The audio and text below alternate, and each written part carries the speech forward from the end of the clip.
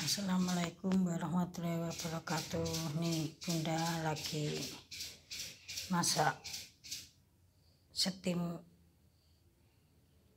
ayam. Nih setim ayam. Ini bentar lagi anaknya mau ke sini makan siang.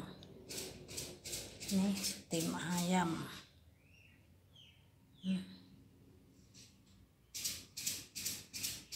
bagus banget ah setim di diskusker itu ayamnya bagus kuning. Kalau setim di wajan itu lam bebek. Nih. Hmm. setim ayam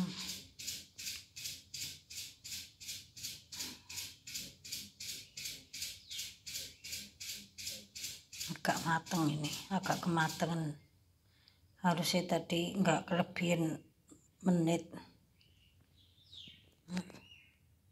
Yuk bye bye